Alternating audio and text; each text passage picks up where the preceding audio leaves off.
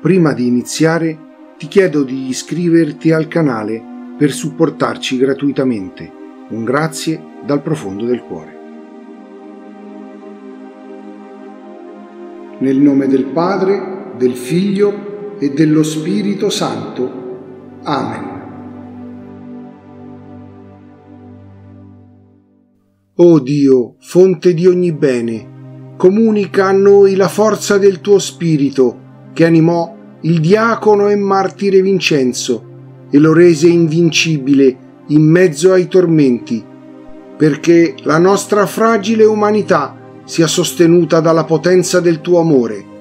Per il nostro Signore Gesù Cristo, tuo Figlio, che è Dio e vive e regna con te nell'unità dello Spirito Santo, per tutti i secoli dei secoli.